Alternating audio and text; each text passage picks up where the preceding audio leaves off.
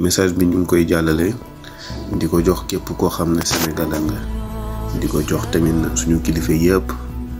moo xam si parti politique boo mënti bokk rek ñu ngi leen di ñaan euh, ngeen dox si ndax jàmm ñëwaat si suñu réew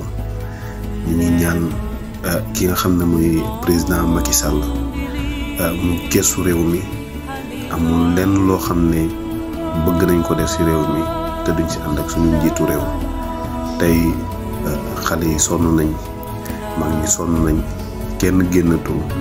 amuñu benn intérêt di daal suñu réew lu ñu bëgg rek mooy nga xalaataat bañ lay fal lu ñu bëgg rek mbëri xalaataat tamit ba ñuy woo sénégalais yi pour naan leen ñëw leen ngeen seetaan ñu Sénégal gi sunu Sénégal la bu yàqoo ñoo ko ñoo perte bu baaxee sunu Sénégal la donc ñuy ñaan rek képp koo xam ne tey